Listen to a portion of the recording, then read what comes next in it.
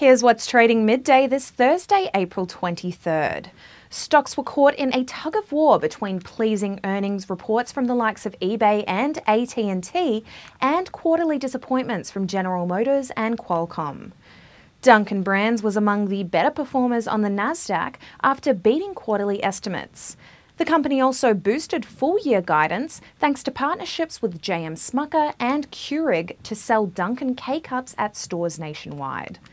Shoe brand Skechers knocked its quarter out of the park, reporting a 41% surge in sales and beating profit estimates. Meanwhile, Texas Instruments dragged on the S&P 500 after a disappointing first quarter and downbeat guidance for its second.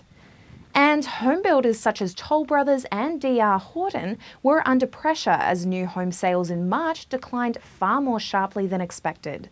Sales dropped over 11%, double expectations in its biggest drop in more than 18 months. In New York, I'm Keris Lahiff for The Street.